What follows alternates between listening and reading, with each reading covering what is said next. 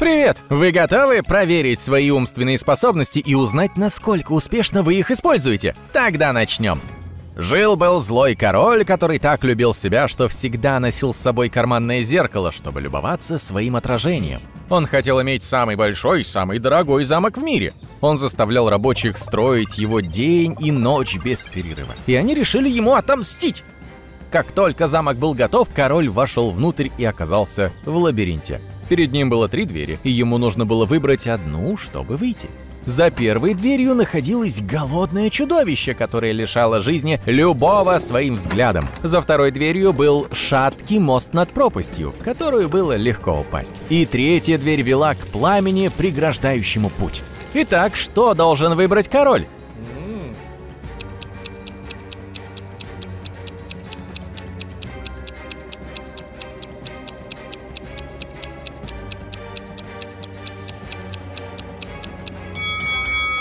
Король должен выбрать первую дверь. Он может использовать зеркало, которое у него есть, чтобы отразить взгляд монстра. Вуаля! Монстр исчезает, и король может пройти безопасно.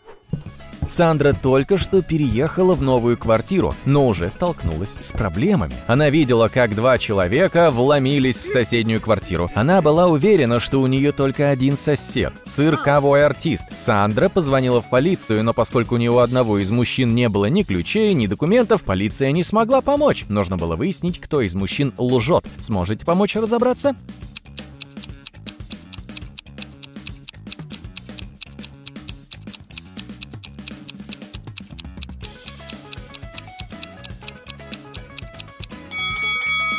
Хотя в комнате полно спортивного инвентаря, настоящая подсказка – цветок на шляпе клоуна. Точно такие же цветы растут в квартире, так что он настоящий хозяин.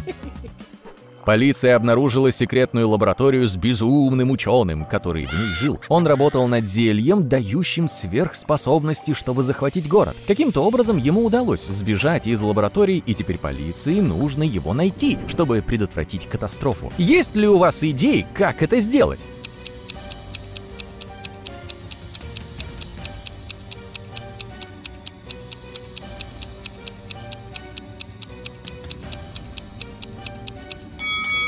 В мусорном ведре есть несколько колб. Они должны быть подсказкой. И он оставил этот странный гаджет. Давайте продолжим поиски. Вот какие-то подозрительные следы. Похоже, их оставил сумасшедший ученый. Видите его? Вот он, прячется за машиной. Нил пригласил лучших друзей на свой день рождения и заказал для них такси, чтобы им не пришлось вести машину. Все весело провели время, но потом настало время открывать подарки, и одна из коробок оказалась пустой. Кто-то, должно быть, украл подарок. Сью сказала, «Я зарабатываю больше денег, чем все вы вместе взятые. Зачем мне красть подарок?» Мик сказал, «Я только что приехала, вы обвиняете меня в краже. Извините за опоздание». Мими объяснила, «Я никогда раньше не видела ту синюю коробку с золотой лентой. Кто лжет?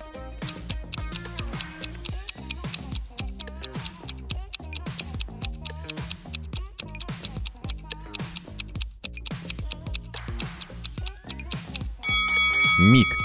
Все приехали на одном такси. Как он мог опоздать?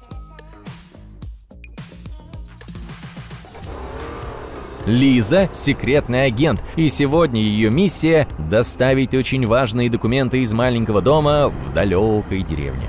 Она прибыла туда, убедилась, что за ней никто не следит, и уже собиралась войти. Но на двери был кодовый замок. К счастью, поблизости была записка.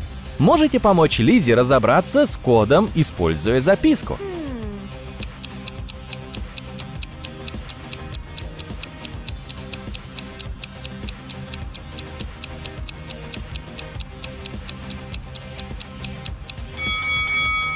Вам нужно посчитать, сколько бревен в каждой секции дома. В записке указан порядок, в котором должны быть размещены числа. Итак, код 7834. Ник только что вернулся домой после выходных в поло-клубе с друзьями. Ой, он увидел грабителя, выбегающего из его дома. Ник попытался преследовать незнакомца, но тот был гораздо быстрее. Ник не смог его поймать, но заметил, что грабитель бежал по направлению к стройке неподалеку. Он, должно быть, притворяется строителем. Кто из этих парней самозванец?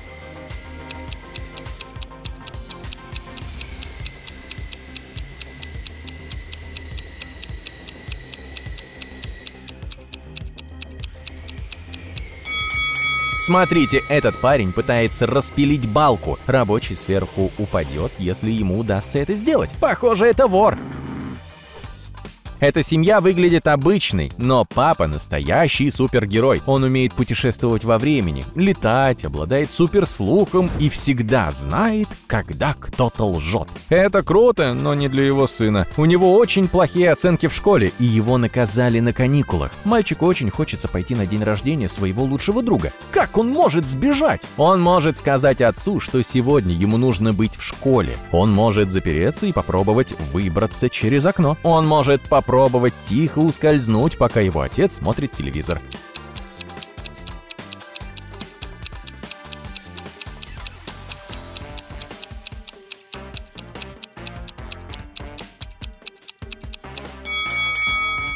Папа узнает, что мальчик лжет, и суперслух поможет ему заметить, если сын попытается ускользнуть. Итак, единственный выход — через окно.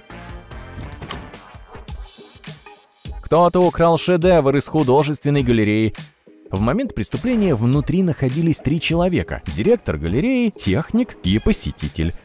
Глава галереи сказал полиции, «Я был в своем кабинете, подписывал бумаги». Техник сказал, «Я убирался на втором этаже и не заметил ничего подозрительного». Посетитель сказал, «Я был в зале современного искусства и рассматривал экспонаты». Полиция сразу догадалась, кто лгал, а вы сможете?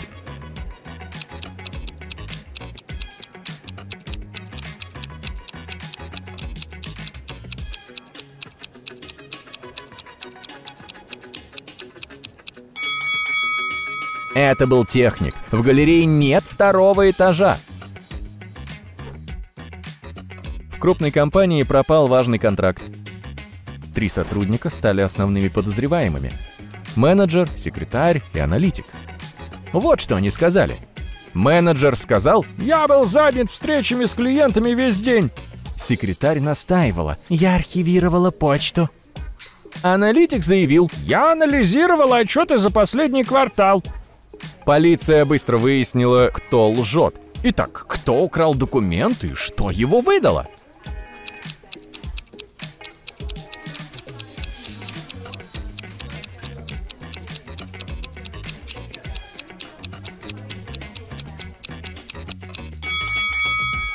Это была секретарь. Компания обновляет архив только по пятницам, но это произошло в среду. Попалась! Кто-то попытался взломать систему безопасности сверхсекретной исследовательской базы. База действительно хорошо оборудована самообновляющимся программным обеспечением и всей новейшей техникой. Под подозрение попали трое членов команды – инженер, охранник и программист. Инженер сказал, я проверял подачу электроэнергии на базе, и все было в порядке. Охранник сказал полиции, я патрулировал территорию, и все было спокойно. Программист объяснил, я обновлял программное обеспечение системы. Полиция сразу поняла, кто пытался взломать систему. Можете догадаться, кто это был?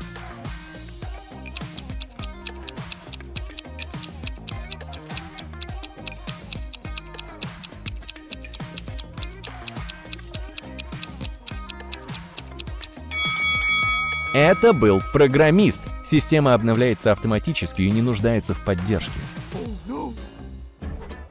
школе пропал экспериментальный химический набор, и было три главных подозреваемых.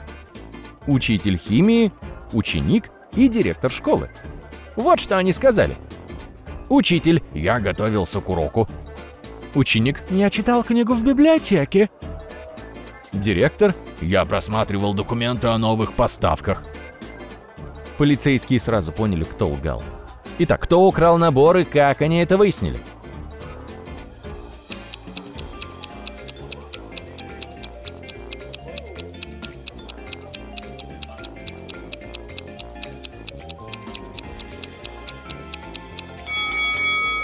Это был ученик.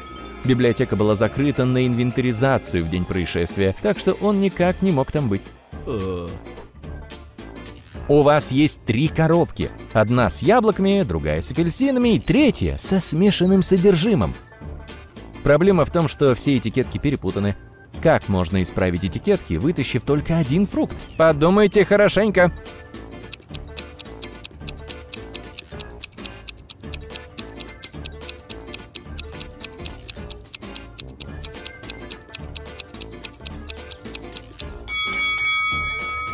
Итак, вот что нужно делать. Возьмите фрукт из коробки с надписью «Смесь». Поскольку все ярлыки неправильные, в этой коробке на самом деле либо только яблоки, либо только апельсины. Допустим, вы достаете яблоко. Это означает, что это коробка с яблоками.